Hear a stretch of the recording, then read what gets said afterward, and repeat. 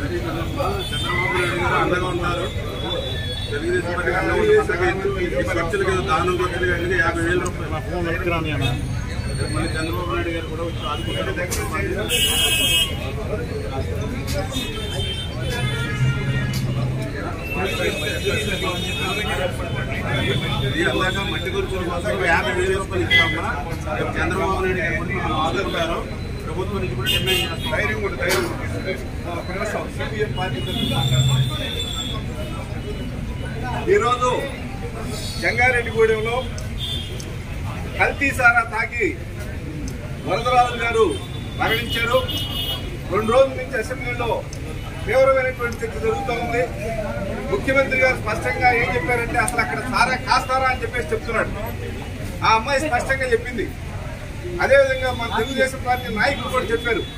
మేము ఒకటే కోరుతా ఉన్నాం. మీరు దీన్ని వెంటనే